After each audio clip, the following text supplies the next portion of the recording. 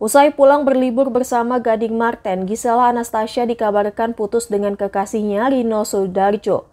Gosip putusnya Gisel dengan Rino Sudarjo tercium saat keduanya memutuskan tidak melakukan jogging bersama saat di Stadion Gelora Bung Karno pada Minggu 5 Februari.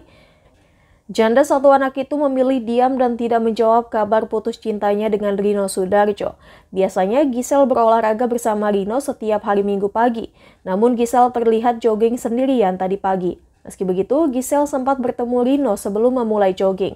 Namun keduanya memilih jogging sendiri-sendiri. Gisel pun mengaku hanya bertemu dengan Rino di pinggir jalan. Kata Gisel, saat diajak jogging bersama, Rino mengaku memiliki kegiatan sendiri.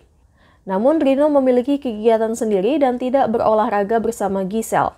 Gisel belakangan ini justru terlihat sering menghabiskan waktunya bersama Gading Martin dan Gempita Nura Martin, putrinya. Diketahui kisah cinta Gisel, Anastasia, dan Rino itu mulai terjalin sejak November 2022 lalu. Namun pada akhir Desember 2022 lalu, Gisel memutuskan berlibur bersama mantan suaminya Gading Martin untuk keliling Eropa. Gisel dan Gading membawa putri semata wayang mereka, Gempita Nora Martin, untuk berlibur ke Eropa. Liburan itu dilakukan keduanya meski sudah bercerai lantaran sebuah janji yang diminta oleh Gempi. Foto-foto kebersamaan keluarga kecil itu di Eropa membuat netizen terbawa perasaan. Netizen berharap Gisel dan Gading bisa kembali rujuk.